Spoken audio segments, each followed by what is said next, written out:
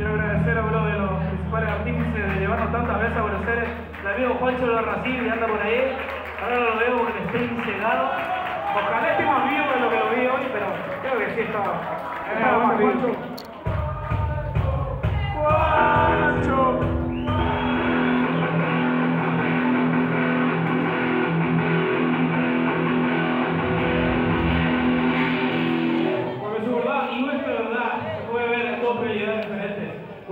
Y otra es la cotidiana.